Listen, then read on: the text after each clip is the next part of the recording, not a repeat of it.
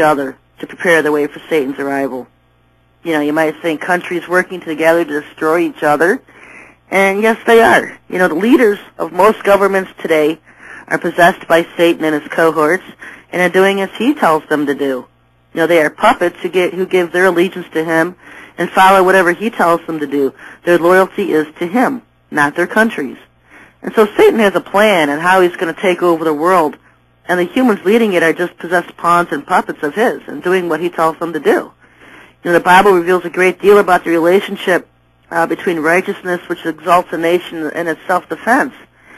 You know, it makes clear that in times of national rebellion against the Lord, the rulers of the nation will, will reflect the same spiritual degrada- degradation of the people, and as a result, there becomes denial of God's commandments and arrogance of power, disarmament of the people, and oppression. Uh, for example, every time the people of ancient Israel apostatized from the faith, they found themselves oppressed under the rule of their judges. And worse yet, they couldn't even defend themselves. You know, in Judges 5:8, it tells us that they chose new gods. Then there was war in the gates, and not a shield or spear was seen among 40,000 in Israel. Uh, because they had let the governments lull them to sleep, they had gotten rid of their weapons, they couldn't even defend themselves. Know, the first book of Samuel tells of the turning away of Israel from God. Uh, the people didn't want to be governed by God. They wanted to have him ruled, be, uh, ruled by a king, like the surrounding pagan nations had. They were all ruled by kings. And then they were God-hating nations. And Samuel warned the people what they were getting into, and that there would be cursings and blessings associated with both. Uh, if they persisted in raising up a king over themselves and their families, uh, and part of the curses would be that the kings would require a standing professional army which would take their sons and daughters for their wars, their aggressive wars. And that's what we're seeing today with our own country taking our sons and daughters for aggressive wars. You know, Saul carried out all the judgments that Samuel had warned the people about. Saul was the king of the Israelites wanted and he got. You know, Saul did not trust God. He rebelled against the Lord and put himself above God, and the nation was destroyed. It was under him that the Philistines were able to defeat the Jews and put them in bondage.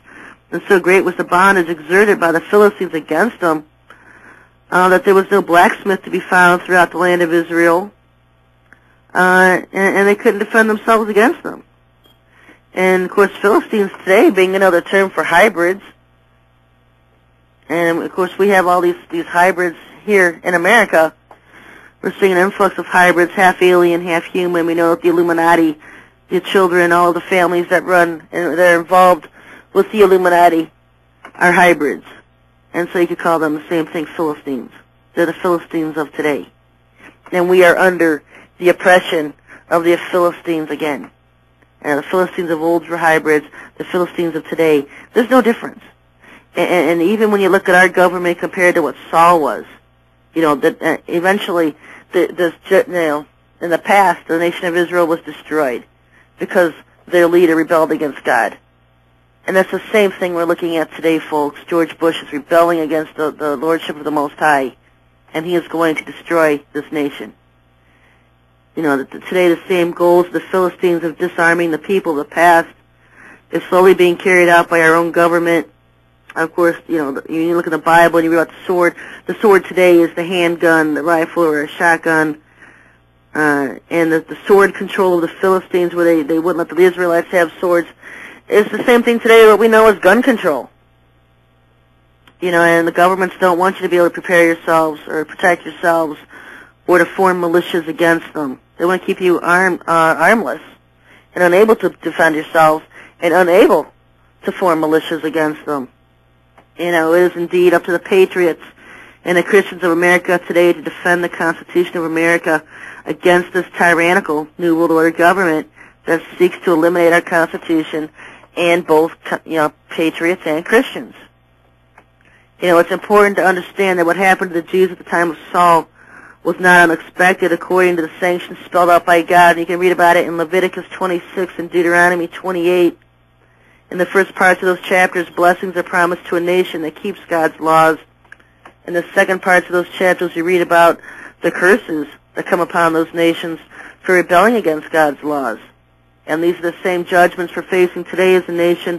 Our government has turned its back on God's laws and is passing laws contrary to God's laws, such as being in with the Patriot Acts 1 and 2, that are contrary to the Constitution and that are contrary to God's laws.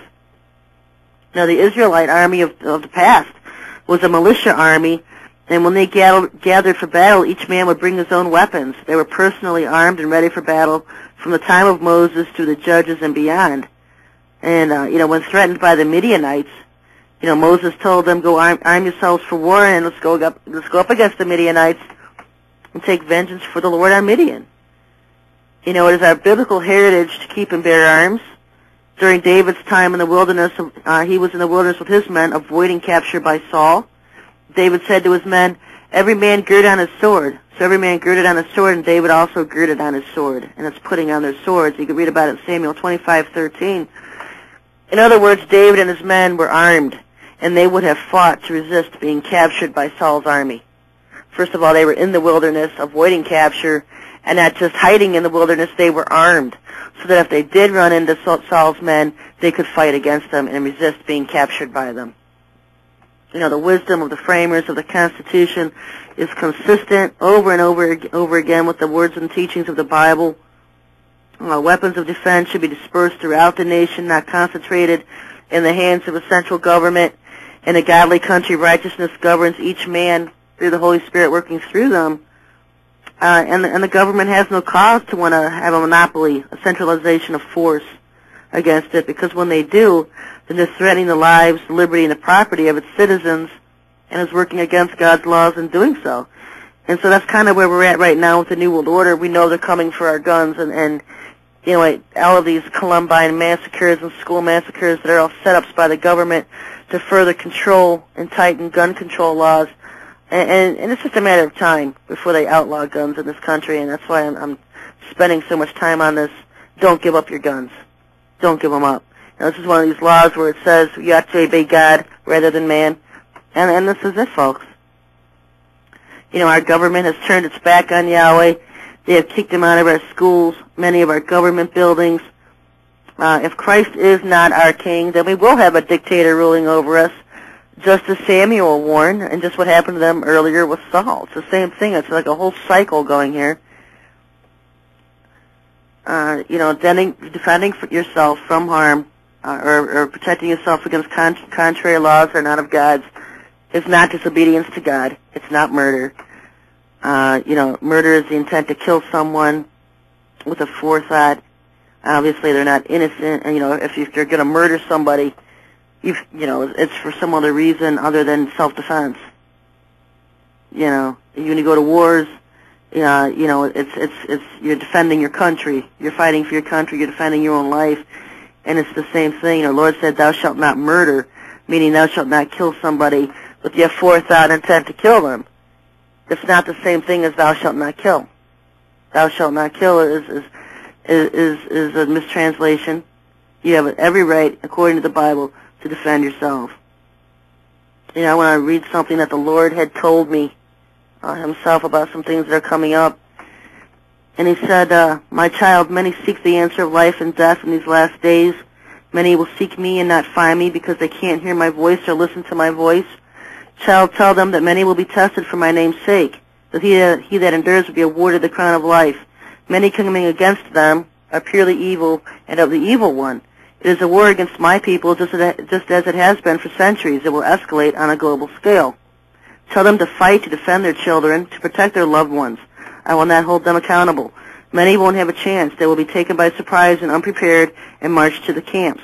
Martial law will come before my hour of testing. It is martial law where they will seek to destroy my people without mercy. It is not the hour of testing where I test my people. These are separate events.